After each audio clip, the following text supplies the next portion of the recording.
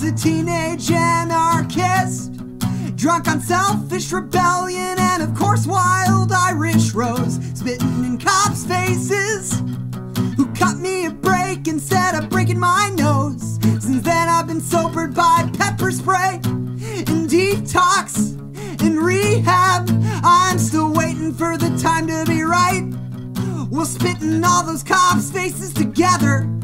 I was a teenage anarchist, and of course I was full of shit. But show me someone who isn't, I'll show you somebody who hasn't lived. Believing in anything means taking the terrible risk of being dead wrong. But I still think that the stakes are worth it.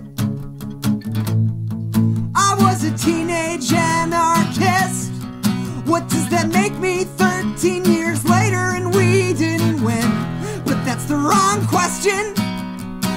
would we deal with the murderers? Tell me, how do we deal with them now? If that pig who shot Mike Brown ever sees a courtroom, you'll have mostly the looters to thank for it. I was a teenage anarchist. I was a teenage anarchist. I was a teenage anarchist. I was a teenage anarchist. Teenage anarchist. I was a teenage anarchist.